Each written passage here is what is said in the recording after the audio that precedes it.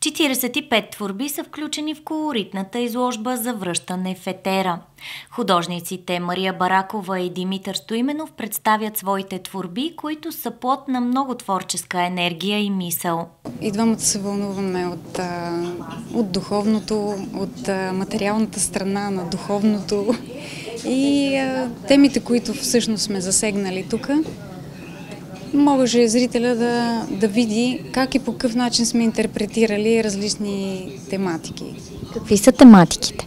А, интересувани а, вътрешния свят, повече отколкото повече от всичко.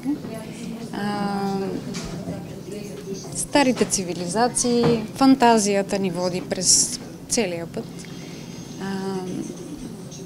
темите, които аз съм засегнала, водата.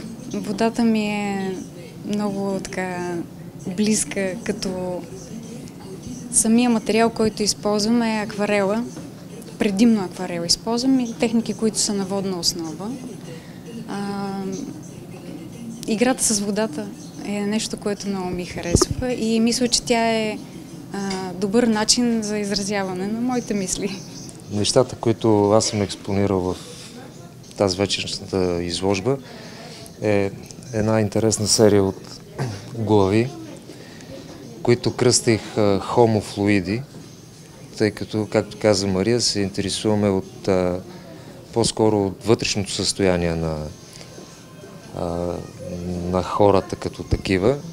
И може, както има Homo sapiens, това да е новия вид хора за в бъдеще, тъй като флуида като цяло, той е непрекъсната, но променящ, непрекъснати променящи се обекти. И може да бъдат и течности в най-различни агрегатни състояния.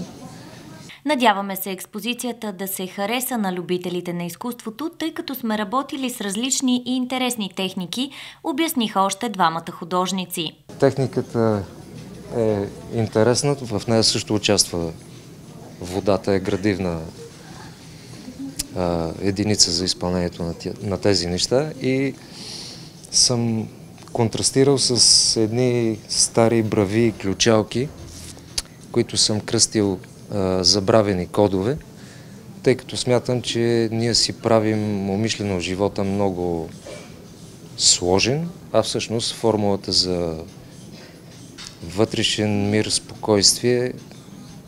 Забравените кодове са прости, елементарни, просто трябва да се, да се върнем към тях. Изложбата ще остане подредена в галерия Георги Машев до началото на месец октомври.